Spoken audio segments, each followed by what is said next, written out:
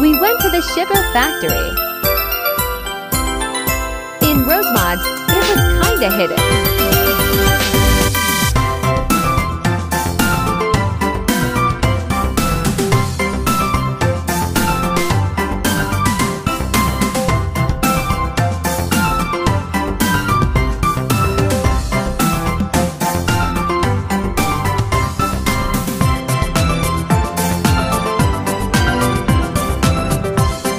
It's a candy store up front.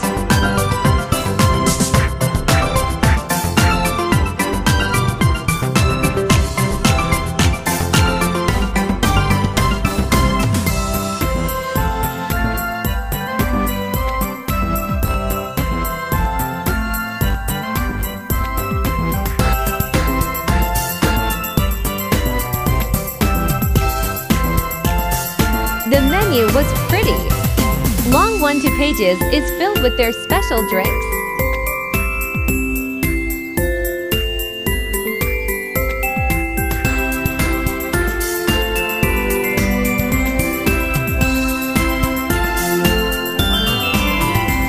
They were kinda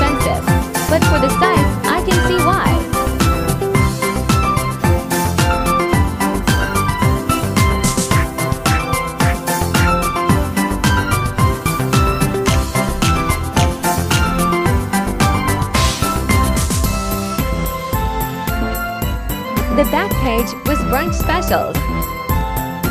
We went with their coffees. They also leave a glass of water on the table, which was pretty cool. My husband went with their special factory burger.